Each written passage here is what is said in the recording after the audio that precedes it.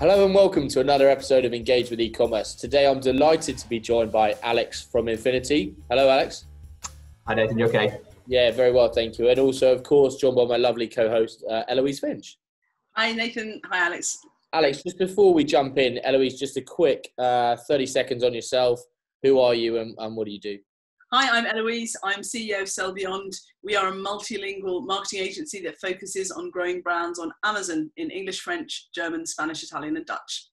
Perfect. And for me, Nathan Lomax, co founder of Quickfire Digital. We're an e commerce focused digital transformation agency. So we specialize in maximizing efficiency, profitability, and scalability through the use of technology. So, Alex, really appreciate you coming on today. I've heard so many great things about Infinity, and I'm just keen to share with the listeners of our show um, a little bit more about the platform, what it can do, its capabilities, and then most importantly, some kind of key takeaways they can go and implement uh, almost from today, if you like. So, yeah, to start us off, I'm interested to hear how did Infinity come about, and at what point did you kind of get on the Infinity bandwagon? So, how Infinity started uh, is, you know, quite entrepreneurial. A lot of how many businesses started it, it was a problem uh, born out of a digital marketing agency. So um, our founder was the founder of Jellyfish, uh, which is a large uh, multinational digital marketing agency. And in 2010, they had a, an issue and they weren't able to justify their client spend when phone calls were happening. So they weren't able to attribute those phone calls to you know, channels, campaigns, and keywords. So they started doing it for themselves, and then they realized that a lot of other agencies were like, "Hang on, that's really good. We want that for our clients." So in 2011, we decided to branch out and become our own business and, and separated from Jellyfish. Uh, Paul, um, you know, sort of came out of Jellyfish, exited there, and and is our CEO to this day.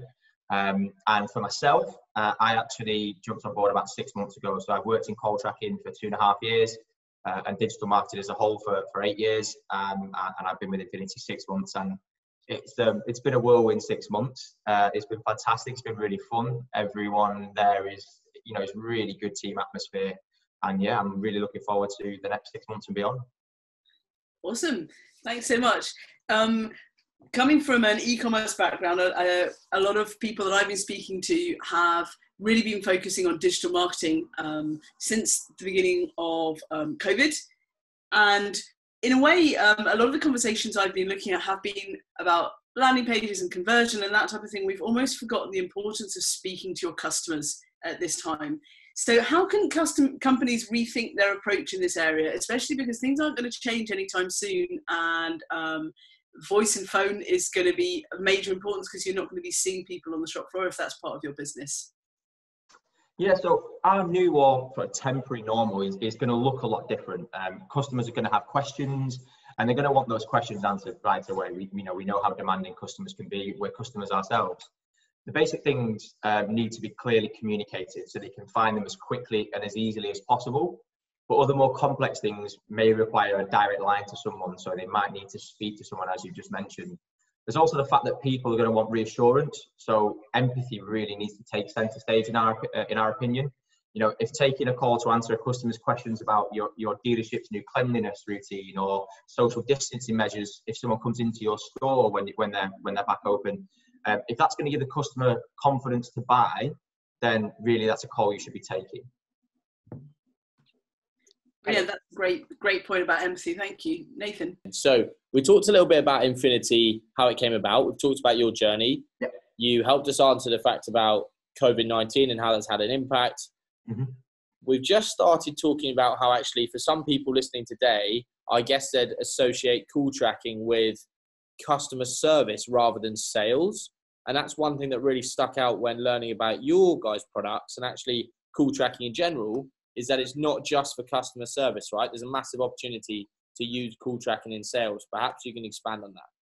Yeah, so the, one of the biggest um, advantages of Infinity is being able to understand what is drive what is driving your phone calls in terms of what digital marketing activity is driving your phone calls. So the marketing and sales function of a business want to be able to optimize the activity they're doing to drive more of the right kind of behavior, more of the right kind of inquiries, more of the right kind of sales.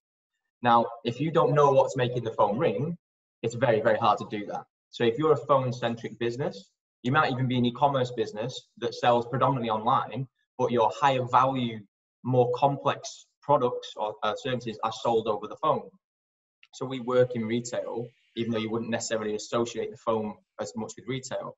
Now you want to be able to know what campaigns, what keywords, what channels are driving those sales. And that's what Infinity allows you to do.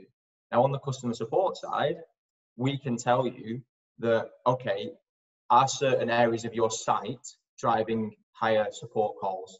And if so, by understanding what is said on those conversations, can we improve the site content to make sure we're driving down those calls? So, for example, most companies that have a call center, that call center will be one of the biggest costs to that business. They're very, very costly assets, call centers. So if you can make them more efficient, you're talking about huge cost savings there. So that means maybe something that's more traditionally associated with call tracking. But on the sales side, it, it's massive. I would say it's more of our business is on the sales side than the customer service side. That's really interesting. And I was thinking in terms of what you're saying about um, call centers, and I noticed on your website you've got a lot of content, even at the moment, I suppose, especially at the moment for, for companies, for example, in the travel industry. In the era of these multi aggregator sites like booking.com, or even in the era of amazon.co.uk or you know big e commerce, do people still really want to pick up the phone? And how should we focus more on um, optimizing voice? Like in in do we need to get more people on the phone? Do we just need to do better with what we've got? So I mean, we touched briefly on empathy earlier uh, on one of the earlier questions, and, and travel is certainly no exception to that. So you know, many areas of it have been impact, impacted, be that flights, activities, insurance, tours, but nobody's going to know precisely what their first post-COVID holiday is going to look like. So um, think people previously would be happy to book online um, without second thought, might need that human touch first just to reassure them. And we don't see this changing um, things for our clients offering more tailored services over the phone. So our clients such as Audley Travel and Saga, those who previously relying on purely online model may now want to rethink their approach to be more accommodating when it comes to conversing directly with their travelers. And I think it's obvious that travelers, you know, they you know, it's an industry where they've all the customers have always done a lot of research, but going forward, I think that's going to be you know even higher. And with tighter marketing budgets going forward in a post-COVID world, it's going to be even more crucial for the marketing teams of these travel businesses to understand where their phone calls are coming from, where their leads are coming from, so they can optimize to get more. And, and call tracking fills an obvious need here. Um, and also utilizing our product called Conversation Analytics. So we have a product where it listens in, and I say it, it's you pre-populate it with keywords that you want to listen out for. So if you want to understand how many times the word coronavirus or COVID-19 is said on your calls, we can spot that for you using our automated AI system. And that AI system can then pull out those calls for you, and you can under, you can basically scrutinize and understand and find out what the sentiment of those calls are. So that was what you were going back before. That was what you were saying in terms of is the content on your website working? And we understand that some people will need reassurance, some people will need empathy, like whatever you've got, especially in the travel sector, that might not be something you're at the moment you're going to want to bypass. But it could be, like you said, in e-commerce, you're selling a certain range of things, or you're selling something, or people want to make a particular type of order. Is your is does this come from call recording? Like, what's the deal? You, you have to figure out what's important, then figure out could people have found that on the website or not. Yeah. So what the, the, the tool is constantly learning. So it, it's machine learning, so it's getting better and better and better and better. But yes, basically, in effect, it, it records the calls. So as you would do normal call recording, uh, and obviously there's a, a, message to be played for, for GDPR purposes. Um, what we can do is ask that to, to look out for certain keywords, and you can positively and negatively rate those keywords. So if you want to drive certain agent behavior of the agent saying something, um, you know, by changing your messaging can actually work well sometimes. But like I say, if you're wanting to reduce the amount of support calls that you're getting around a certain topic, you can use our tool to understand those support topics that are being talked about, and then you can use that to inform your web development team or your content team. Say, right, we need a specific page on that, or we need to update the FAQs, or we need to make it clearer. We need to make the website journey more, you know, a much simpler journey so that users can easily find this information before picking up the phone. Alex, that almost answered my question, but a bit further. I'm keen to understand the reporting of these kind of systems and not just your systems. For some of the people we've got listening and some of the people that will listen to the recording, they'll be interested to know just how granular we can get with this tracking. Heloise and I are always talking about test and measure uh, and see what's working, see what's not. What kind of tracking can we get out of, uh, well, what kind of analytics can we get out of call tracking? So it goes to the visitor level. So in effect, what Infinity is, is a visitor level call tracking platform. So that means that every interaction with the site is being, is being measured. So if let's say, for example, you come through a, uh, a you know a PPC keyword, you come onto the a client's website, you then don't take any action and you go off. That, you might then come back through Facebook, you might come back through direct, you might come back through organic or email. Because we're tracking each individual touch point, we can not only tell you that that first keyword prompted a call when it eventually happens, but we can tell you every step of the way in between. And we feed that into the platforms that your, your clients and our clients use already. So we natively integrate with Google Ads, we natively integrate with Google Analytics. So the in layman's terms, the way I like to kind of pitch it to people is saying, just think of us as another goal within analytics. So as you have a form fill or as you have a transaction or as, as you be tracking emails, just think of phone calls now being something that's been illuminated. So we're just another one of those goals that you can report on as granular as you can anything else. Interesting. I wonder going forwards, actually, just thinking in terms of the tracking side of things, the attribution I'm interested in, Alex. Is it if there was like, uh, okay, so someone comes to the site, they make they maybe don't call there, but then they call, but then they don't purchase, and they call again. Like, how can we kind of split attribution, or actually is it only allocated to the last thing that generates the conversion? So in our platform, we have what we call a visitor trace. Now, as long as there's certain assumptions you have to make here, so the, the, the user hasn't cleared their cookies and that they're searching on the same browser or device. So let's say I'm at my work laptop like, like I am now, and I've only ever used this device to, to do my research, and I've gone through all that, we would be collecting each touch point, and that will be listed in our visit, visitor trace within our platform. In terms of your attribution, we pass the data into the other platforms of where you'll be doing your attribution. So if you're just using standard Google Analytics, generally that's on a last click basis. So that's what you'll get in terms of uh, in the data in there. However, if you're using more advanced platforms like Campaign Manager um, or you know the, the premium Google stack, so Analytics 360, we fit um, because that has one singular cookie across the Google stack. We fit into that, and basically we pass our data into there, and then they make the um, the attribution decisions within their own platform. Brilliant. Okay. So, in terms of where we're going, um, where you're going in terms of your technology, what does the future hold in uh, in term in, for Infinity? What's what's the next big mountain you guys have to climb, or what do your clients? Um, what are they nagging you to do that you know that you have to get on top of? Um, I think in terms of uh, so we're a global company. So we have offices, two offices in the US. We just pre-COVID, we were just about to, uh, to expand uh, throughout Europe, uh, and we have a few offices in, in the UK. Now, at the moment, our conversation analytics suite is just in English. We obviously want to make that worldwide. We operate in over 75 different countries, um, so we track calls for clients all over the globe. However, unfortunately, at the moment, we can only offer our conversation analytics suite in English. Um, as you can imagine, it takes a lot to build that um, and there's a lot of continuous learning. And the more and more clients we get on board with that, the better it becomes because, the, as you know, with anything, the more data, the better anything becomes. So I'd say definitely that is the future, and, and understanding what happens on those calls is is definitely the future of our business. Right, because I guess as someone that runs, um, uh, you know, I, I run uh, a company that has a lot of multilingual stuff. The conversations and the keywords, um, that's going to have to be reprogrammed in all the different languages and and the cultural context of those keywords as well. That's a big job. Interesting job, though. Yeah, exactly. Not thankfully not one that I'm responsible. you can't do everything right. There's much smarter people than me in charge of that. Thankfully. So, Alex, whenever we're talking to clients, uh, we're always talking about accountability and making each channel accountable for yep. ROI and whether we're getting a return on investment or not. In your opinion, what are the top five reasons that call tracking whether it's with your platform or not with your platform, is essential for any business, no matter what size they are now? So, the number one for me, and always will be, is if you don't know what what's working, you know, how can you improve? If you just rely on guesswork, and that's no way to base a strategy.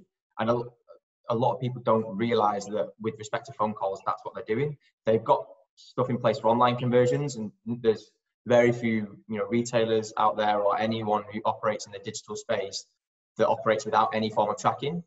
So what I don't understand sometimes is why is that not considered over the phone for phone calls? Maybe it's because a lot of clients don't realize there is a solution in place, uh, but we're here to tell them that there is. So that would definitely be number one.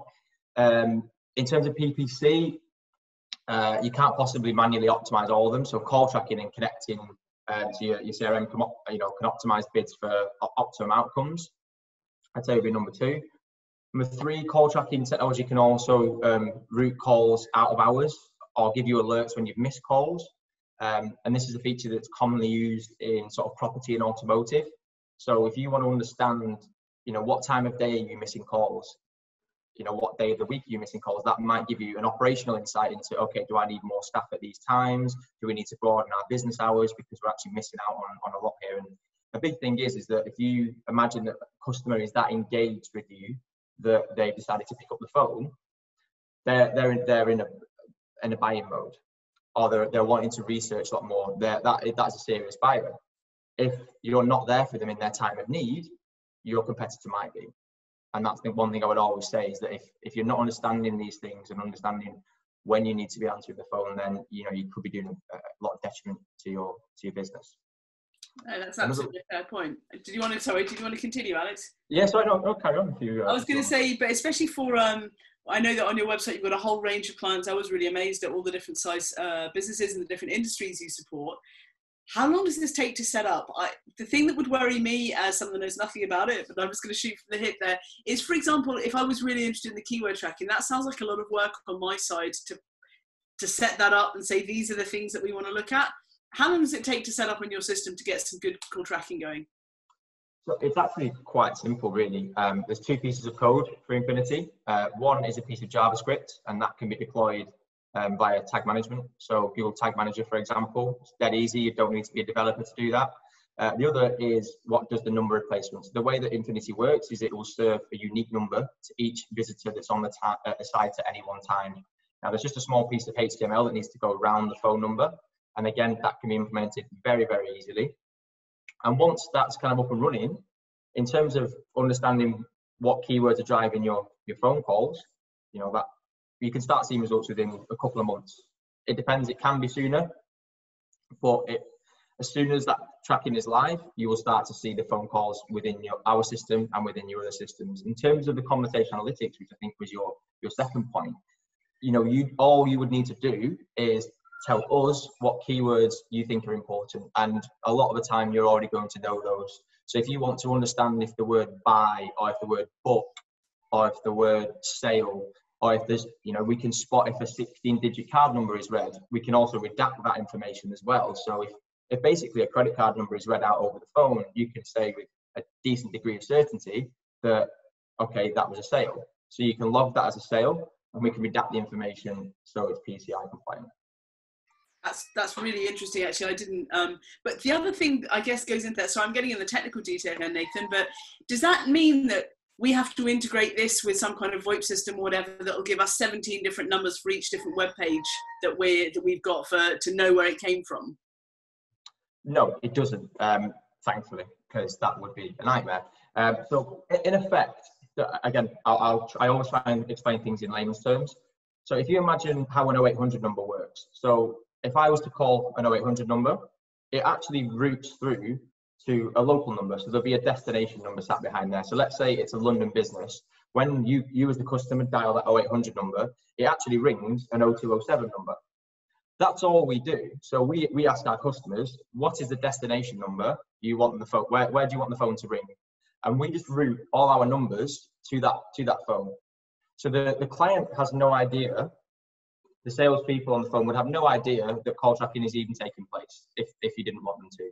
And what the way it works is that those numbers are in a pool that's like an invisible pool that's sat behind the website. And as soon as someone comes onto the site, we'll display that unique number to them Someone else comes on, we'll display them a unique number, but they're all ringing the same phone.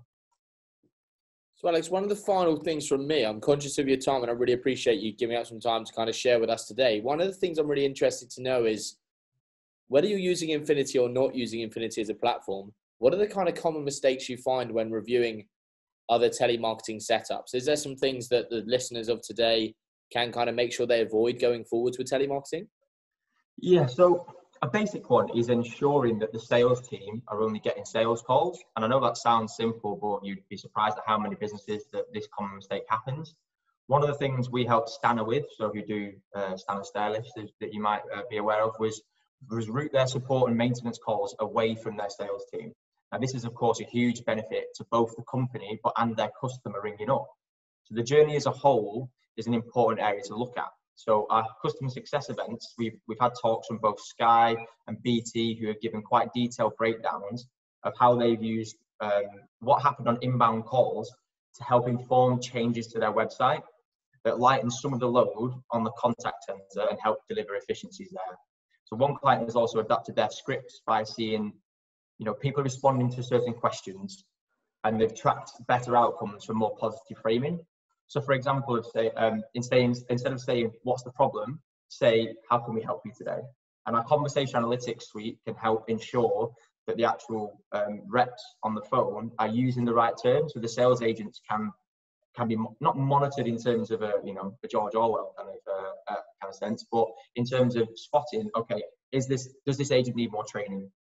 Are they saying the right things that we want them to be saying? And obviously, if you're tracking the outcomes of these calls as well, so knowing if that's turned into a sale, you can see, okay, does this language transpire to a better outcome? Really fascinating. That's such a such an interesting uh, story you told us, and such an interesting uh, company. I, I've really learned a lot, Nathan.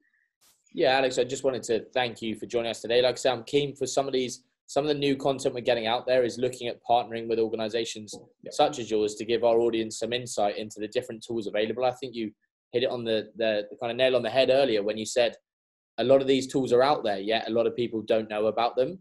So for us, uh, Heloise and I, we're working with uh, kind of retailers all the time, and so for us, it's how can we broaden their understanding and education of you know what you thought this was maybe once impossible? It's absolutely not impossible. And there are tools on there and we're going to help them kind of bring those tools to the forefront of their mind so alex i really appreciate you giving up some time today thank you i hope those of you listening enjoyed that as well Alex, final thing for me is if anyone wants to find out more about your product or, uh, and the kind of uh, yeah, Infinity, where can they do that? Do they connect with you? Who do they talk to? They can connect with myself. So I'm happy to for you to share um, my email. But my email is alex.hughes at infinity.co. You can go onto our website, uh, which is infinity.co. There's a live chat on there. Uh, probably not best to, to ring the phone at the moment because no one's in the office. So easy use the, the email.